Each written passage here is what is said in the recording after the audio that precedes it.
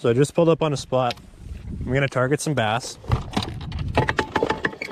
And I'm going to be using the A-rig, which is short form for Alabama rig, um, otherwise known as an umbrella rig. So what this thing is, is you have your line tie at the head here at the front, and then you've got five wires coming off of it.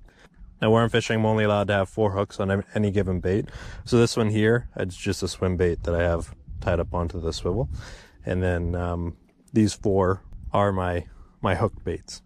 So it's a large profile and what it seems to do is if you get a fish on this thing, it's more of a reaction strike than anything. So what I do is I let it fall. If you don't have LiveScope, let it fall to the bottom and then start reeling. But I can kind of see when I'm getting close, so I stop it so I don't get snagged and I reel it really quickly.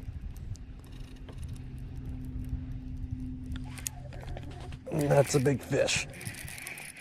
That's a bass, it's a really big one.